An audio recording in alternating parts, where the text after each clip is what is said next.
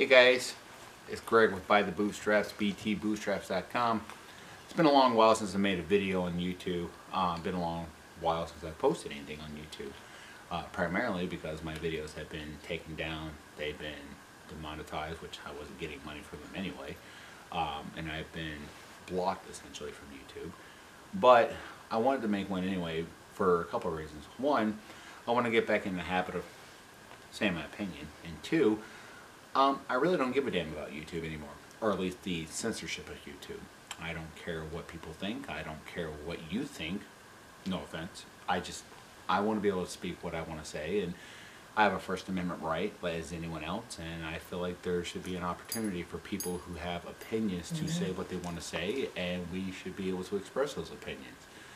Uh, for the last several months, I've had several thoughts and opinions about certain subjects and ideas, but I deliberately kept them quiet. Uh, primarily because I didn't want to get into an argument with other people and because I didn't want to uh, express myself in a way that might be controversial on fears of the fact that some moron out there who can't handle someone's opinion uh, attacking my position at my job, if I'm being fair. Um, but I thought about it with my wife and we talked and I said, you know what, I, I'm tired of this. I want to speak my mind as well as anyone else has a right to speak their mind and basically fuck off. So yeah, that's the opinion I'm taking. Anyway, the reason why I wanted to make this video is because unfortunately there was another shooting of a young black male in uh, Minnesota and the media immediately went to the fact that this young black male was gunned down by a police authority for no just reason. Now I'm talking about this Dante or Dante Wright, whatever his name is. I don't agree with the fact that this young man is dead. I don't think he should be dead. By all accounts, in the body cam footage that was provided by the Brooklyn Center Police Department, he was killed accidentally. I have questions there. However, that's not why I'm making this. Really what I'm more uh, upset about, in my opinion, is the governor interjecting his personal opinion in a tweet indicating that a young black man was yet again killed by law enforcement officers. The fact that this man has control of the National Guard in the state and that the National Guard were called out to protect the city limits and the city uh, of Brooklyn Center, their municipality building, sorry. That is a danger to do. It's not only dangerous, but it's reckless and it's foolish. He made that tweet the same day that this young man was killed with no evidence, no recourse, no information, nothing. Okay? You're supposed to be the governor of the state, which means you you are the one who's supposed to provide guidance and protection to the city, to the state. And then you come out there and makes make a comment. All right?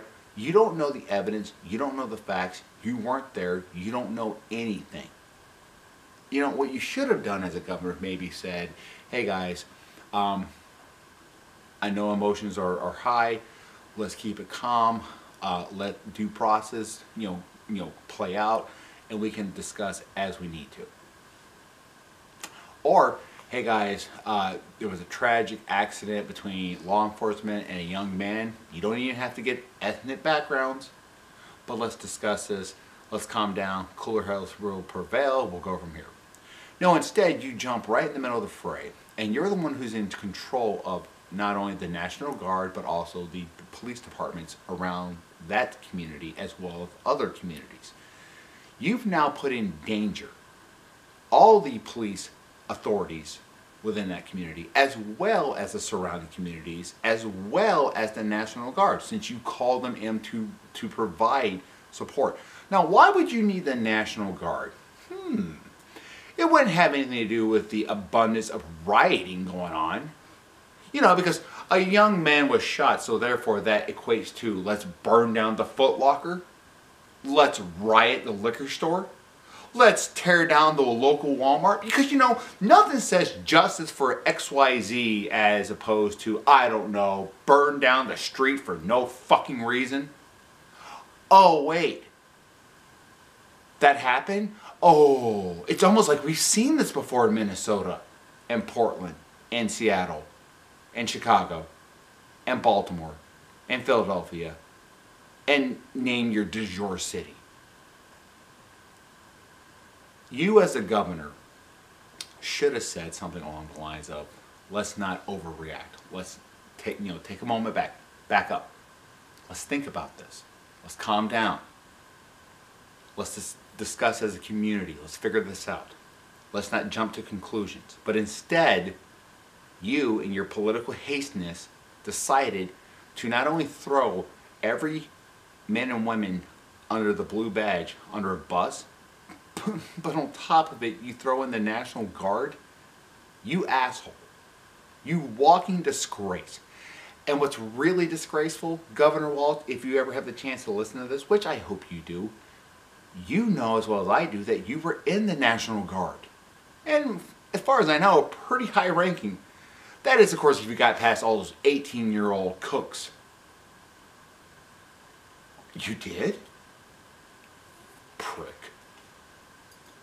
You know, I have to ask a question uh, about this police officer. Um, I know there's been a lot of talk going about about this man being killed, Dwight Wright, which, by the way, was not a good dude.